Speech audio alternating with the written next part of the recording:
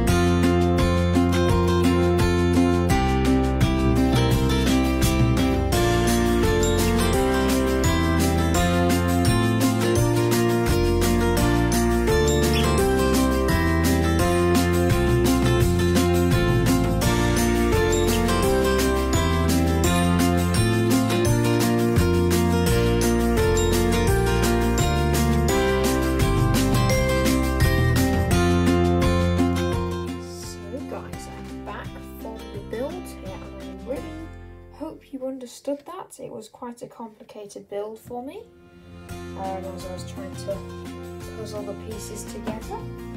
Um, it's quite hard actually. Anyway, I hope you like the details here. So we've got like the waves here. I don't know why the Oops.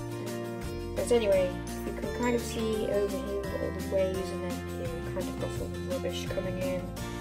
All the rubbish boxes here. And uh, got the little kind of port, like wooden port which is all broken from the rubbish.